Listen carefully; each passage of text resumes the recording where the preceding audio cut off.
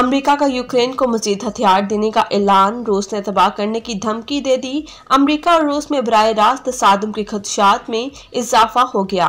America ने Ukraine को मजीद हथियार फ्राहम करने का ऐलान किया है। रूस ने यूक्रेन को भेजी असलाह की खेप तबाह करने की धमकी दे दी। रूस ने अमेरिका को खबरदार किया है कि वो यूक्रेन को हथियार देने से बाज रहे।